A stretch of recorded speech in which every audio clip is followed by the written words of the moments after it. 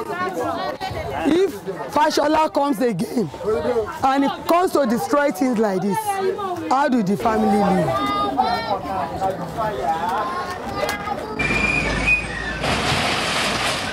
On the 23rd of February 2013, the Lagos State government sent in bulldozers into the Badia East community in Lagos State, Nigeria, uh, and with the support of heavily armed police, they demolished at least 266 structures uh, that served as homes and businesses of affected people. Several people were injured, and many people were not allowed to uh, collect their belongings before their homes were destroyed. On my recent uh, mission, I met with uh, Bimbo Shobe, and she told me that um, affected people uh, continue to live in precarious circumstances. Yes. A lot of us were rendered homeless. And as you can still see it, we still have majority sleeping outside. They sleep inside. You have seen it. That is net. Even during the one bed. Yes. This is one bed.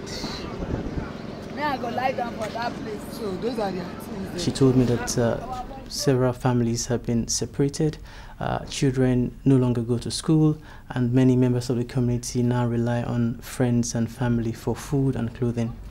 And we still have, you know, some of these people you see selling outside now. Yeah, They used to be in their houses, in their shops. yeah. See what the eviction has turned their business to. Before the demolition, the government failed to genuinely consult with the affected people. They failed to provide reasonable and adequate notice to the people. No compensation was paid, and uh, no, there was no provision of adequate alternative uh, housing. If if he feels that he wants to demolish the place, give us a lengthy time to pack our things, relocate us to another place, give us the pattern of houses that he wants us to live.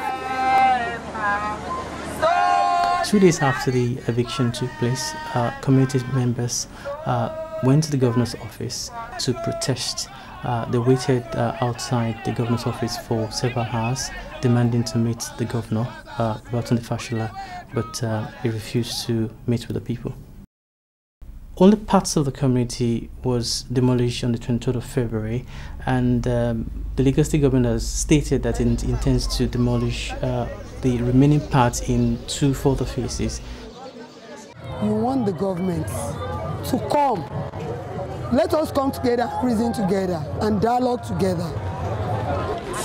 Amnesty International is calling on the Lagos State government to stop all forced evictions in the state and also to provide um, compensation and alternative adequate housing.